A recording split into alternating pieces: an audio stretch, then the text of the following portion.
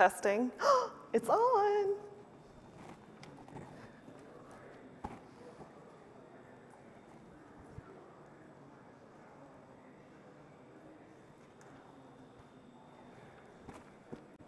All right, this is gonna be my clicker, so that's why I'm holding this mouse. All right, just a second. Hola, bienvenido a todos.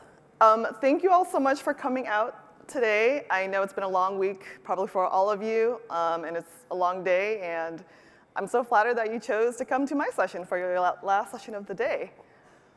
So just to make sure we're all in the same room, my talk is why, how to, and issues tail-based sampling in the OpenTelemetry collector.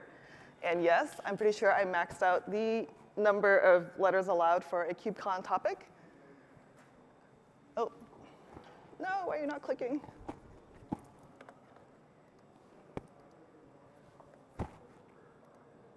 Oh, that's weird. Okay, well, I'm gonna have to stand here. All right, to start, I'm gonna take you through our agenda for this session. I'm going to start with a brief refresher on OpenTelemetry, collector, and distributed tracing. Then we'll get into a sampling overview where I'll cover not just what is sampling, but also why sampling. And then we'll see sampling in action with a live demo by yours truly. And we will wrap up with concerns and limitations so that you are aware of the challenges. The first question I'm going to answer for you today is, who am I? My name is Reese Lee. I am a developer relations engineer on the OpenTelemetry community team at New Relic. I am based in Vancouver, Washington. I am passionate about helping observability end users get and understand useful data from their systems. So I'm very pleased to share this presentation with you today. Okay, uh, first, a quick refresher on these core concepts, as I'm sure most of you are already familiar with these at this point. Um, if you do want more information, I'll have some resources at the end that you can check out. What is OpenTelemetry? In 2019, two competing open source instrumentation projects, one called OpenCensus and then one called uh, OpenTracing, were merged, forming OpenTelemetry. It is now the second most active CNCF project after Kubernetes, and it is a unified standard for instrumenting, generating, collecting, and exporting telemetry, so metrics, logs, and traces, uh, to help you analyze your uh, software's performance and behavior. And it does so by providing a set of APIs, SDKs, and tools, including a component called a collector. What is the collector? It is essentially um, an extremely configurable uh, system for processing telemetry data. It's made of the, um, there's three main components that access that telemetry data.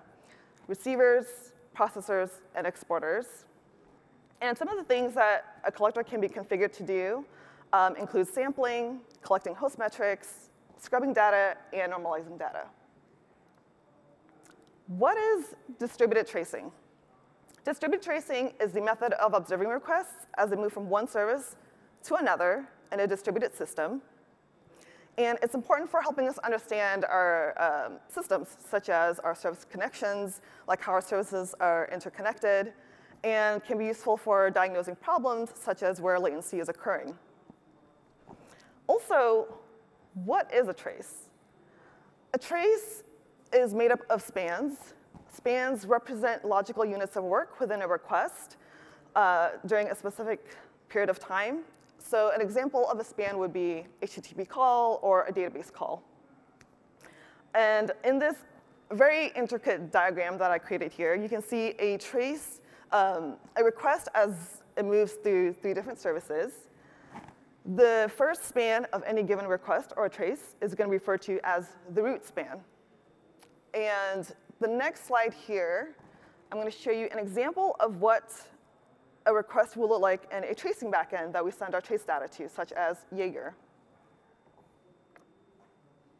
So Jaeger, I'm sure most of you are already aware what it is. It's an open source uh, distributed tracing platform that visualizes your service requests as traces. Um, there are also other open source tools and um, multiple backend vendors that you can send your trace data to as well. let me get my mouse over.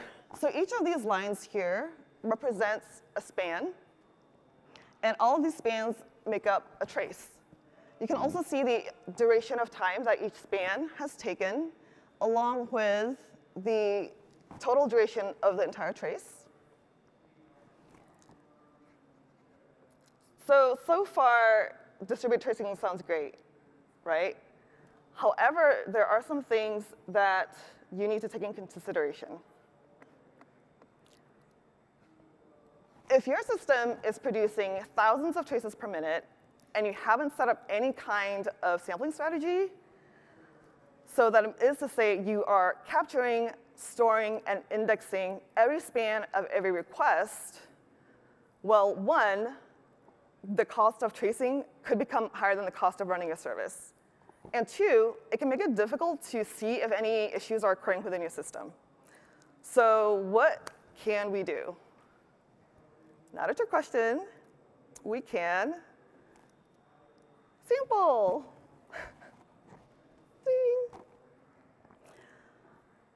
Okay, before I get into the sampling overview, can I get a quick show of hands? Is anyone currently using trace sampling in your organization or know anyone who, uh, or know whether your organization is? Excellent, okay. So it looks like some of you are probably really familiar with sampling, um, but in any case, I will cover what is sampling, why we might want to sample, and then we'll talk about head and tail-based sampling.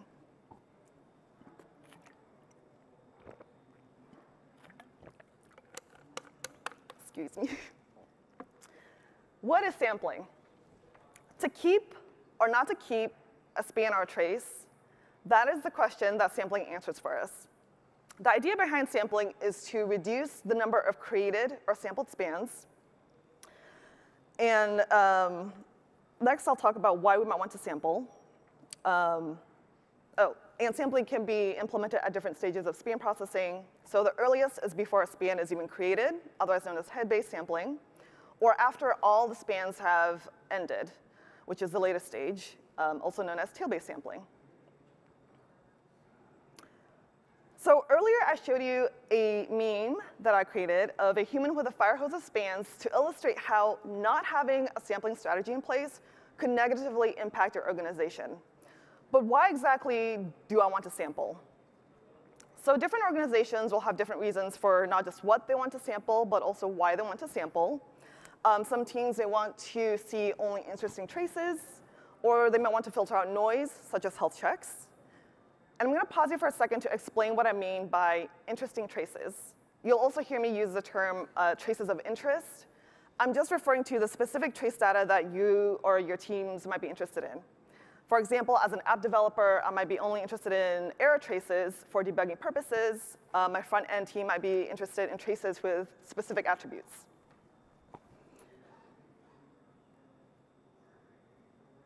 Another way to think about sampling is if 99% of the traces that your system is producing are 200s and finished without errors or latency, do you really need all that data? So the thing is, you don't always need a ton of data to find the right insights. You need the right sampling of data. So now we're going to talk about a couple um, hip sampling strategies, starting with head-based sampling, and then we'll get into tail-based sampling.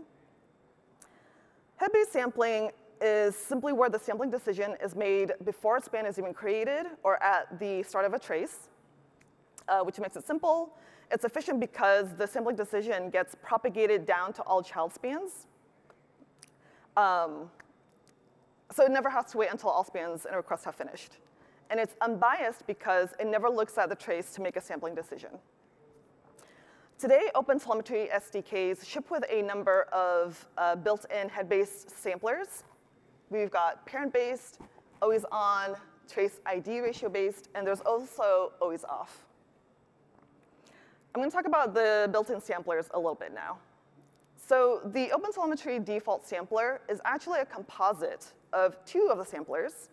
Uh, we have the parent-based sampler, which takes a required parameter for what you want to use for your root spans.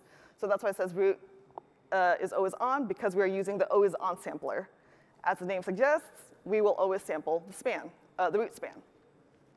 And the way the sampler works is by asking a few questions of every span. First, are you a root span? If yes, well, guess what? I'm always going to sample you. If you're not a root span, that means, hey, you have a parent span. And I was going to ask, okay, was your parent sampled? If yes, hop on the train, you're getting sampled, and if not, you're not getting sampled. And in other words, the sampling decision gets propagated down to all the um, child spans. So in this way, this is how the default sampler works to collect every span of every request in your system, assuming all your uh, services are instrumented with OpenTelemetry and using the default. Okay, this diagram, which I also created, painstakingly, lovingly created for you all, uh, shows an example of what we might see in our tracing backend that we're using. The blue dots represent the root spans, and the blue rectangle represents where the sampling decision is made. The green dots represent sampled spans, and you can see um, the entire trace is sampled. And for some flavor, we have the red dots, which represent error spans, spans with errors. And you can see we get a full view of all the traces our system produces. Next, I want to talk about the trace ID ratio-based sampler, but hold on a second. Okay, the name of this sampler is a mouthful for me, so. This sampler uses the trace ID to make a sampling decision with respect to the sampling rate that you configure. In OpenTelemetry, when we combine this sampler with the standard random trace ID generator, we get a mechanism by which to do probabilistic or random sampling. Essentially, this diagram kind of gives a, a general high overview of how the sampler works. On this side, it's randomly decided, okay, I'm gonna sample everything with trace ID one. So all spans with trace ID one, you're getting sampled. On the other side, you see it's decided, okay, I've not, I'm not gonna sample trace ID two, and therefore all those spans will get discarded. I do wanna note here that if you have multiple connected services um, instrumented with a variety of language SDKs because they're in different languages, the OpenTelemetry specification recommends that you use this only for root spans. And so how um, earlier we saw um, the root takes in the always on sampler, we'll just simply switch it out for the trace ID ratio-based sampler. So we'll see that example in the demo coming up. So here's a diagram showing an example of what we might see in our tracing backend if we're using trace ID ratio-based sampler essentially a random sampling of traces. We may or may not always see our uh, traces of interest, in which case, in, the, in this case being the error trace. Okay, so that's all I wanted to cover for head-based sampling. Let's talk about tail-based sampling. The biggest difference between head-based sampling and tail-based sampling is that with tail-based sampling, as the name suggests, the sampling decision is made only after all the spans in a request have finished. Uh, this means we're able to filter traces based on specific criteria. Um, it is useful for efficiently seeing those traces of interest. And it's optimal because we get to keep all our spans in context and don't lose, uh, and don't get broken traces when we need them most. Today, to do tail sampling using OpenTelemetry, you have to stand up a collector, which I mentioned at the beginning, um, and implement the component called the tail sampling processor. Multiple policies exist today, and you also have the flexibility to add more if you like. This is just a short list of the policies that you could use today. I'm going to take you through the screenshot here so this shows an example configuration for the tail sampling processor in our collector config YAML file. So here we've got our tail sampling processor, that's the name of it. The first three um, lines here are all optional configurable settings you can use or not. Uh, decision wait is the time to wait from the beginning of the span, or beginning of the trace to make a sampling decision. Num traces is number of traces kept in memory. And expected new traces per sec is expected new traces per sec. And finally, we have the policy section here. Uh, there is no default, so you will have to define at least one policy to use the tail sampling processor.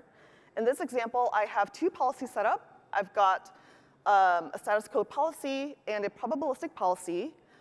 And this will essentially get me all my error traces as well as a random sampling of remaining traces. This is an example of what we might see in our tracing backend using the exact configuration I just showed you. Our error trace, as well as a random, sampled, uh, random sampling of remaining traces. If we decide to only use the status code policy, this is what we would see, just the error traces. Okay, so how is everyone feeling about sampling? Eh, good, great, awesome. Thank you. So if you have any lingering questions, um, please hold on to them, and I'll try to get to them during the Q&A, or hopefully some of them will be cleared up with this live demo I'm about to show you. Okay, so first I'll give you context for the demo, and then I'll walk you through the uh, scenarios that we're going to see, and then we'll do a quick demo reflection. So for the demo, I have three services that always call each other. And what I mean by that is just service one always calls service two, and service two always calls service three.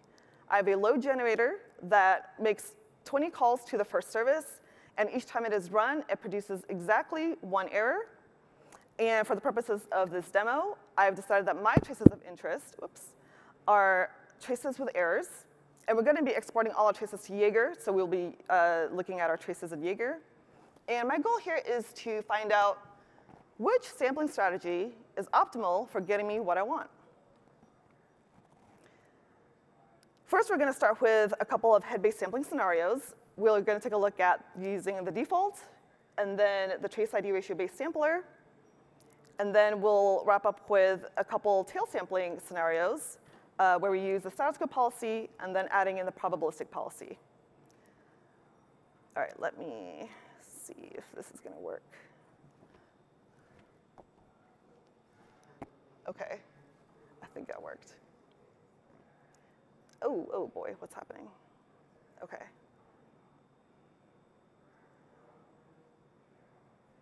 So I'm going to be switching between three separate windows.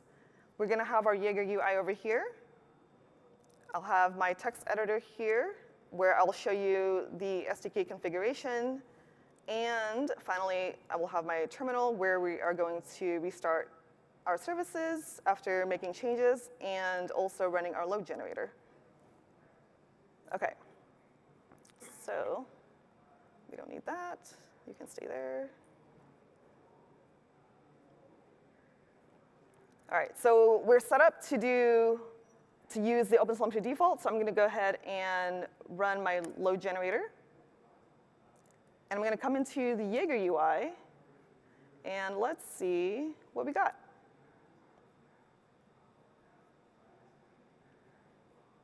Oh boy. Please hold.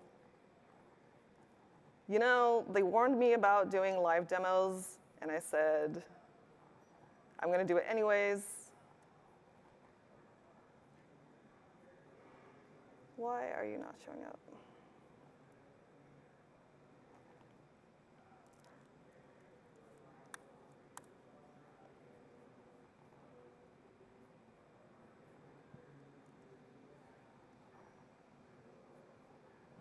Okay, please hold.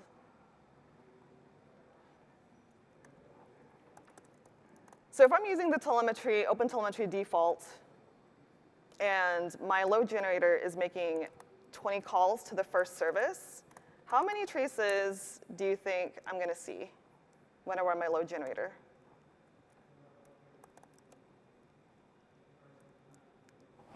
Someone just flashed out 20. You are absolutely 100% correct. Now, I would love to show you if I can figure out why this is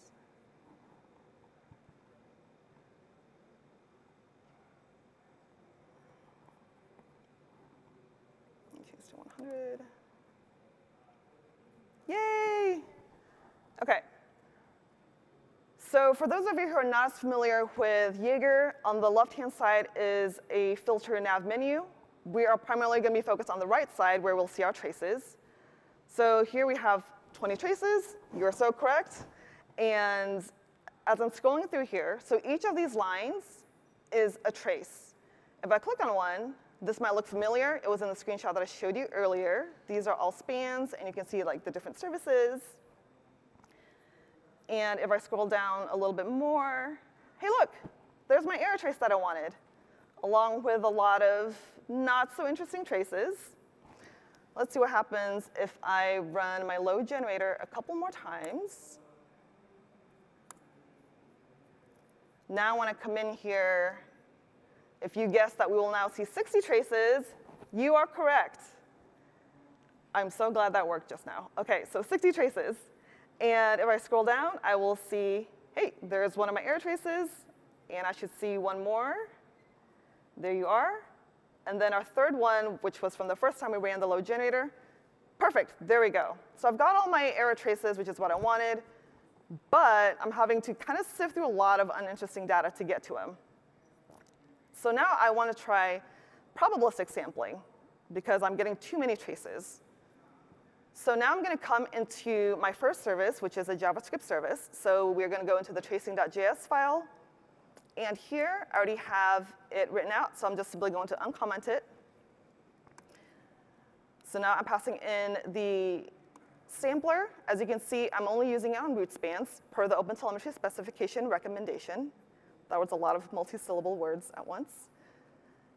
All right, and now I'm going to do it for my second service, which is a .NET service. And finally, I'm going to do the same thing for my third service, which is a Python service. And also, you can see here that um, the sampling rate that I've configured is 25%. So now I'm going to go into my terminal and restart my first two services for the changes to take effect. The Python one auto reload, so I don't have to worry about that one. Okay, so now let's run my load generator. Okay, so pay attention to this top number here, 60. What do you think we're going to get? Maybe. So close, seven. So we have seven new traces. And hey, look, I got an error trace. That's cool, and a random sampling of all other traces. And you can see here too, so this here, right here it says a few seconds ago, and this was two minutes ago. So all the ones above this are my new traces. So let me go ahead and run this a couple more times. And let's see what we see. Okay, so the number is 67, and it updates to 74. Seven new traces, yes. I think my math is correct. Actually, that seems a little low. 74 traces, okay.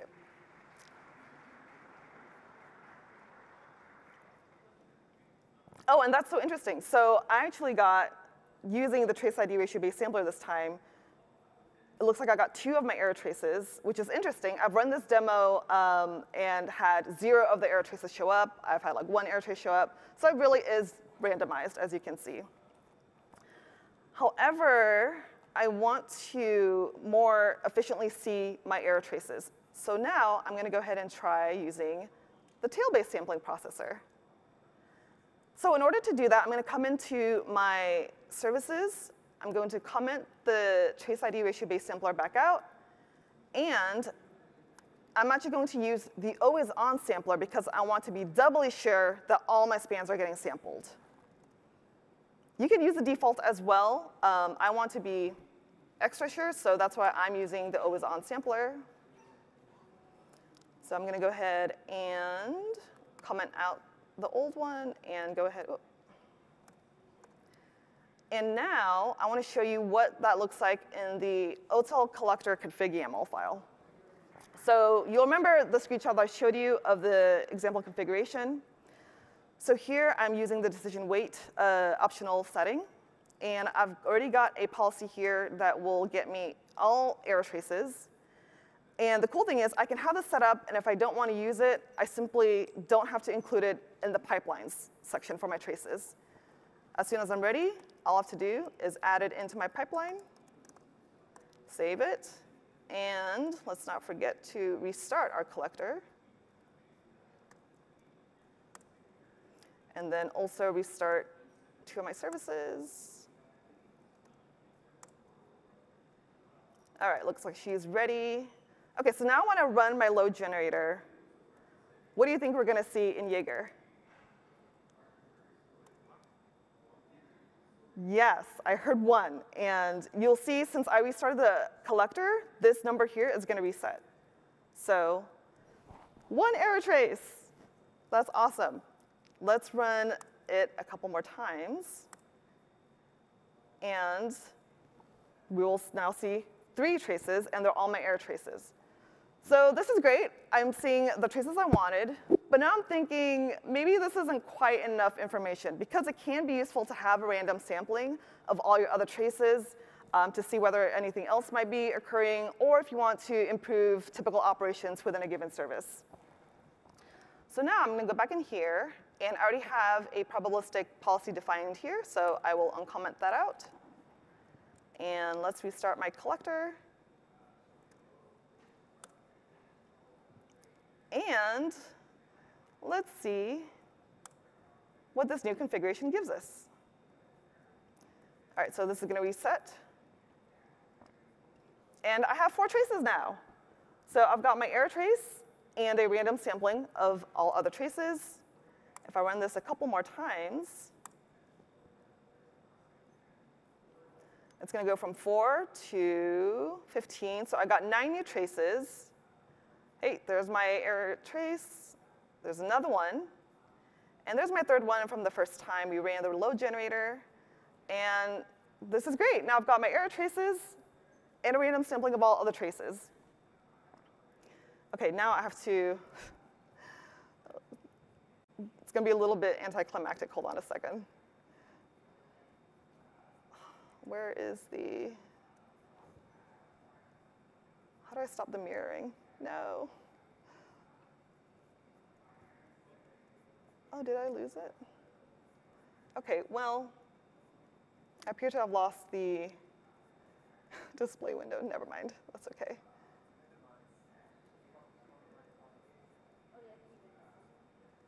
So, yay, that's what you were supposed to see right after.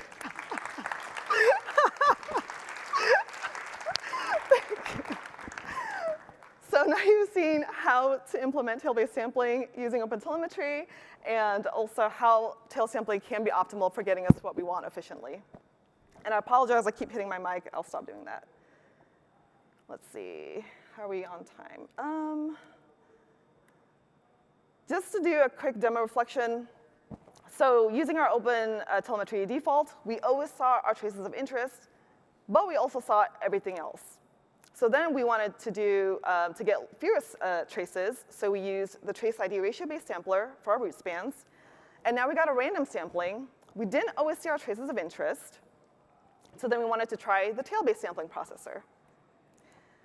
When we use the status code policy, we only saw our errors. We decided, hey, is useful to get a random sampling of all other traces, and so I added in the probabilistic policy, and we saw that we got all our error traces plus a random sampling, which is awesome.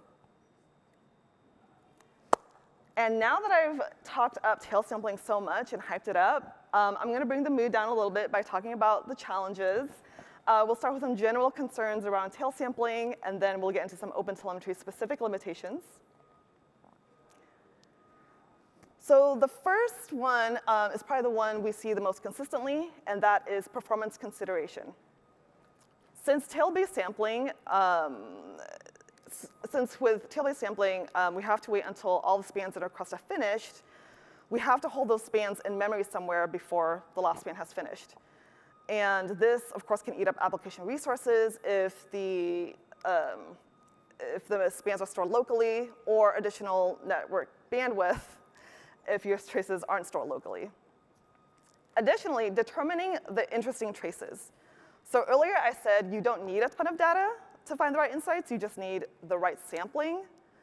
Well, there's gonna be some work involved with figuring out what exactly that means for your team. You're gonna have to ask some questions to know what to sample.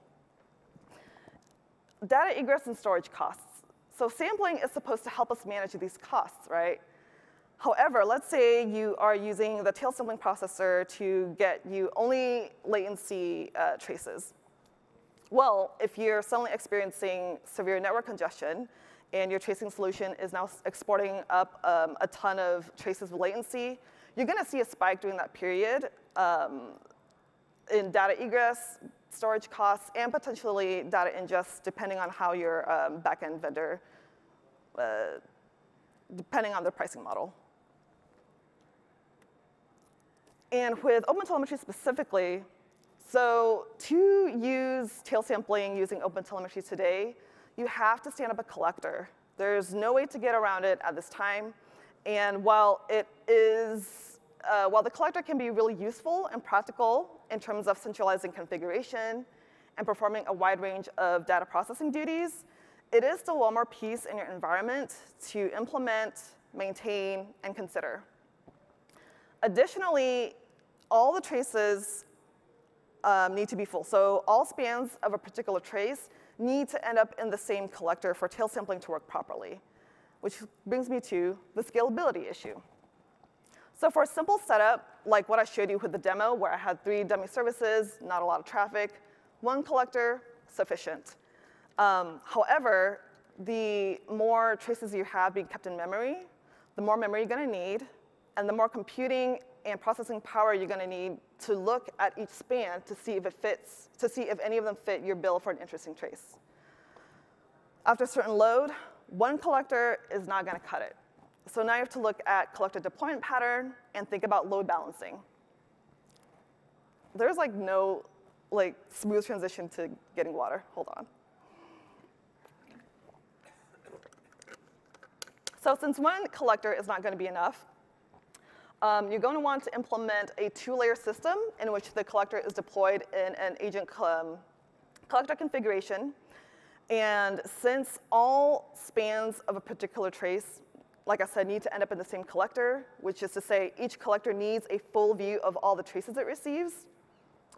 Um, and this is because if you have spans going to different collectors and you know, they're each getting sampled, you're gonna end up with fragmented traces, which means you're gonna get uh, traces with, lots of gaps and you may not necessarily know, you know, where exactly a problem is occurring um, or which uh, service has an issue. There does exist today um, an exporter called the load balancing exporter that you can use uh, if you're running multiple instances of the collector with the tail sampling processor. So there is hope. And finally, the future of the tail sampling processor. It sounds a little ominous, but it's simply referring to um, there's an open issue right now in the collector contrib repository around replacing the tail sampling processor. Um, the conversation is more around will breaking up some of the policies and building them out into their own processors be more performant than, or be more or as performant as using the tail sampling processor. If you're interested in this discussion, um, I encourage you to reach out to Juraci Kröhling. He is with the Grafana, and he is kind of the mastermind behind this idea. And I think we've arrived. So in summary, tail sampling is great for efficiently getting you what you want, but there's going to be a lot of challenges with figuring out what exactly that means for your team, as well as implementing it. A couple of quick future-ish things I wanted to touch, to touch on. Um, so there's work being done right now to add lo probabilistic log sampling to the OpenTelemetry specification, which is pretty cool. Um, I encourage you to head to the collector contrib repository to find out more. And also wanted to talk about contributing. If you're interested in getting involved with OpenTelemetry, now is a very exciting time, um, whether you want to do co-contributions or help improve docs. I know the community team is very excited to have um, all your great minds involved. So definitely head to, um, oh, actually, I have the slides, uh, slide at the end that will have some links for you to check out. And big shout out to everyone that is on this list and all of you who came today and for anyone watching the recording, I appreciate you all so much for being here. And all right, if anyone has questions, um, please head to the mic. It looks like I am right on time, but um, I see a gentleman back there, so let me leave this slide here for you. Um, this barcode here, if you have feedback that you would like to share with the OpenTelemetry community team about your experience, um, whether you've used it or like what's stopping you from using it, we would love to know. And yes, what is your question that I can hopefully answer? Thank you for your presentation, first of all.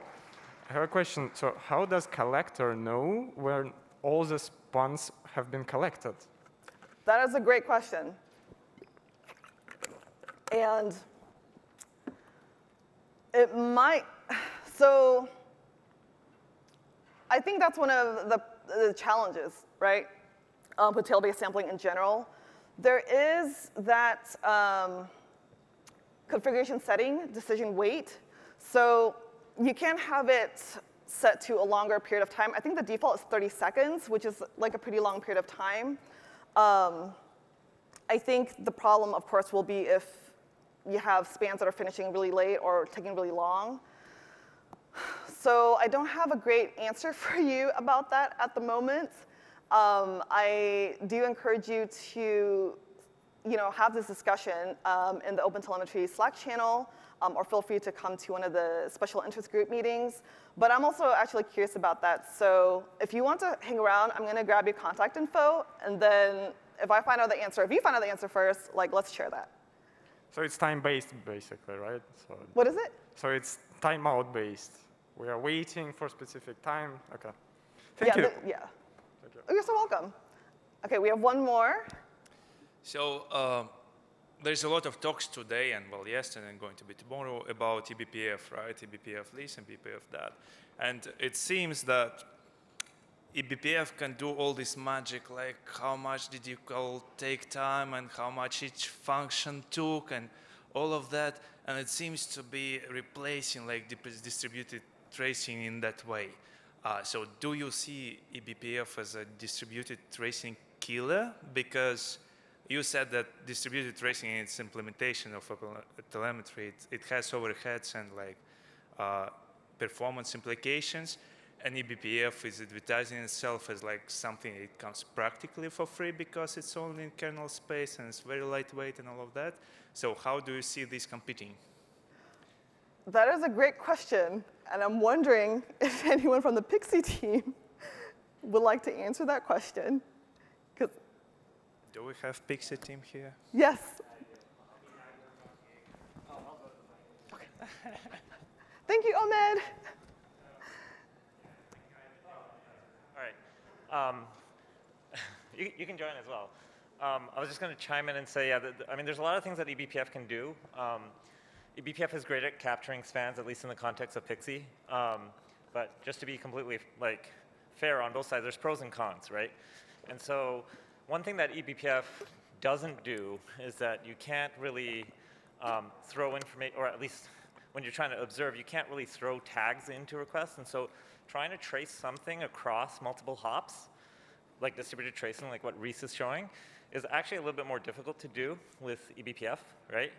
Um, so you're good at capturing spans with eBPF, but getting distributed traces, uh, that's something that actually OpenTelemetry is very good at, right? And so there's pros and cons with these things. Um, it's not just one, one tool fits all, right? So just a, a quick blur on that. Thank you. Oh, I'm so excited that you're here. And that is all I have for you today. Thank you all so much for being here. Hope you enjoy your stay in Valencia if you're visiting.